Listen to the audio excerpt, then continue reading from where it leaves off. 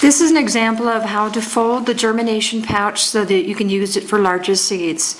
The first step is to unfold the the trough so that it's now flat. You then use this line as your edge for the future trough. You bend it over backwards. Flatten that line.